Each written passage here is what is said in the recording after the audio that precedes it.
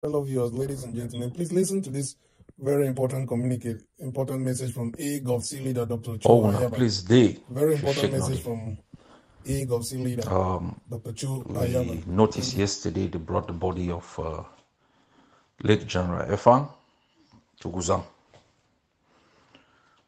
and it was very strategic. War of liberation is about setting narratives and controlling narratives. Since General Efang was uh, kidnapped from the hospital, the enemy has not known what to do with him to keep him alive or to murder him.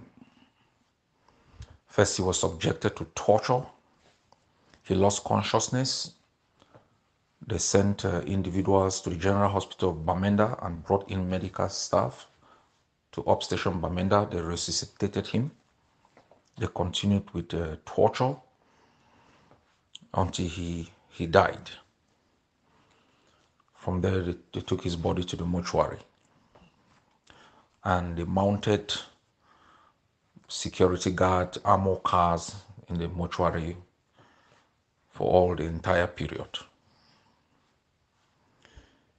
Once they engage in the actions in the hospital, we notified relevant international actors on their obligation under international humanitarian law. I'll leave it at that.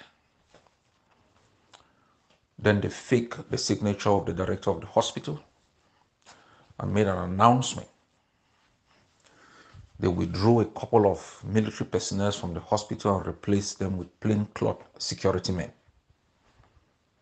We were watching every move of theirs. Then they moved armor personnel carriers into Gozang as a test run. We have that on video. We sent a unit in there to strike on, on them. They moved out. They have been confused what to do with the man that they've haunted for seven years and finally murdered. The reason they have brought him yesterday, even after making the fake announcement, is because of the bloodied nose we gave them on the 11th of February.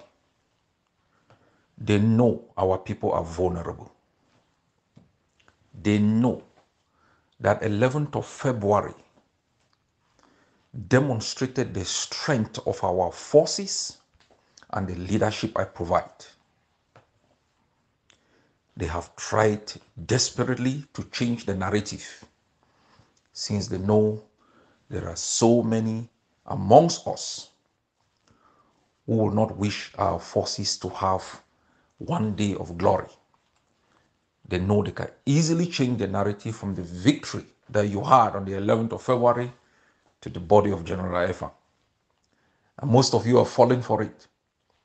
You have taken the bait from the enemy, changed the narrative, rather than perpetuating and propagating the disgrace and humiliation you gave and occupying power, riding in armor cars. You've changed the subject to a man who was giving his life for our country. General Efang, you are placed day and you should rest in peace. The men you've left behind will continue to fight until the last soldier of La République du Cameroon is booted out of the territory. Yesterday, two of your units in Mezam fought in the center of the city and drove the enemy from several places. General Efang did not die because he carried a rifle. He died because he is an Ambazonian. I use the present tense. The children of Ngabu, Baby Mata, Grandmama Api, Samsoya were not murdered because they carried rifles. For all of you, for all of you, and I say this based on history, I will never celebrate the demise of an Ambazonian even when we differ. The enemy does not know who is or who is against. The enemy considers you an Ambazonian. When Gaza is flattened, they don't make a distinction between those who are for Hamas, those who are not, or those who are for Israel, or those who are not. When those who think they are entitled to define your present and shape your future, when their power is threatened, they will kill everybody. The master feels revulsion when the slave who had succumbed to authority rises up to question that authority. And I want each Ambazonian to know from 1961 up till today, many Ambazonians have been killed. Even John Fru Ndi, who later became the allied, was locked up at his home for months. Late Pa Mukong was in jail. Late uh, uh, Ayamba was in jail. They don't kill you because you carry a rifle. They kill you because you're an Ambazonian. They kill you because you rejected the dispossession of your land. And if you think, if you embrace Cameroon, if you change your name to Roger Milla, if you worship their flag, you will be accepted. No. The servant never sits on the same table like the master even on issues like education, even on issues like sports. Never. The Francophones are so arrogant. But things are changing. And we'll be having a global meeting on Sunday to discuss these things. The enemy has collapsed.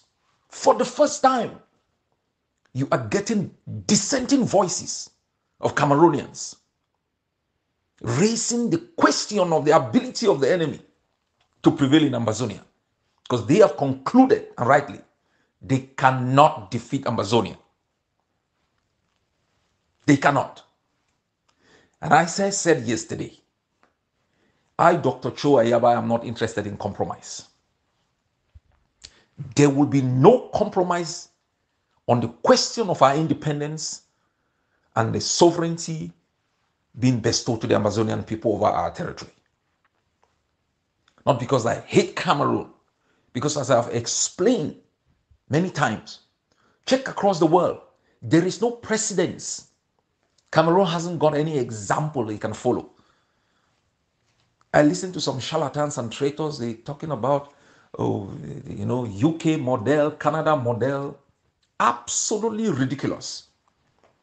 England has a treaty 300 years old treaty with Scotland to come together to set up the United Kingdom with, with Wales and uh, Northern Ireland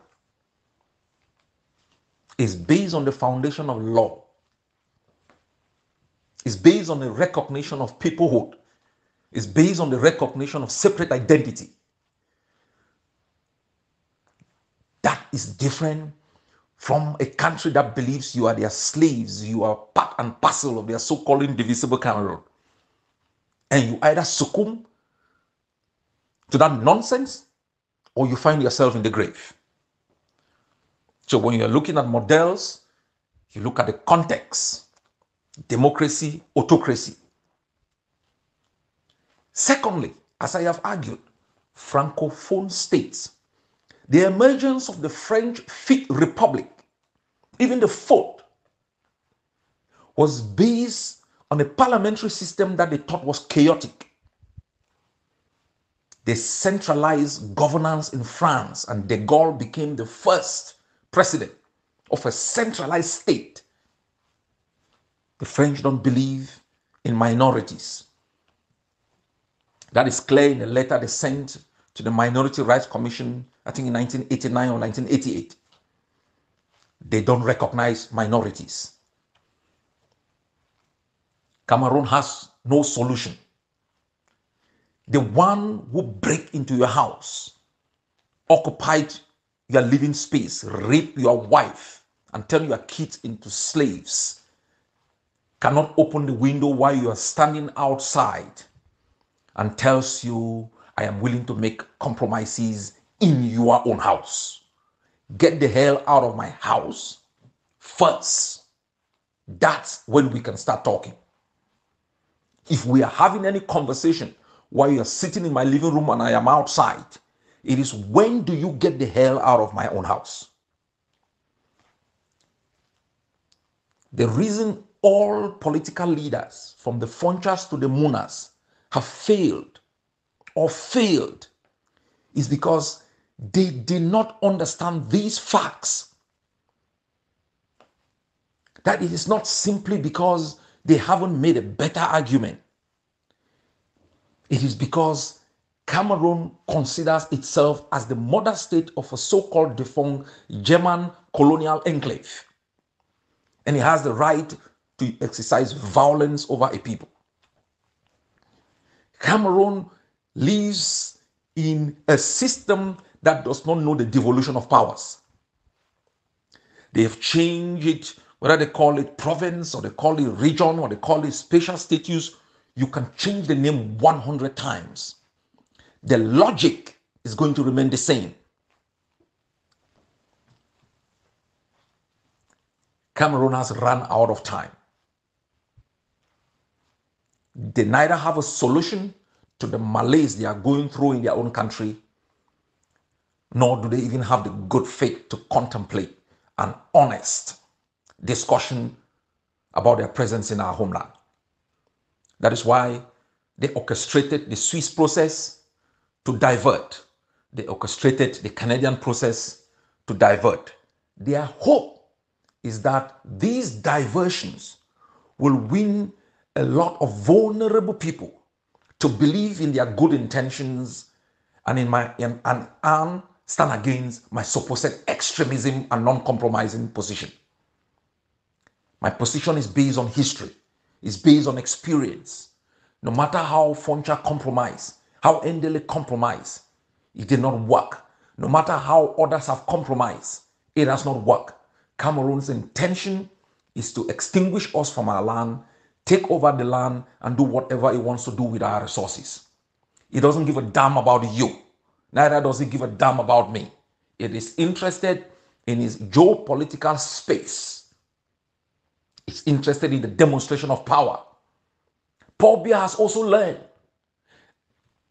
that Gnassingbé Eyadema gave a sovereign national conference.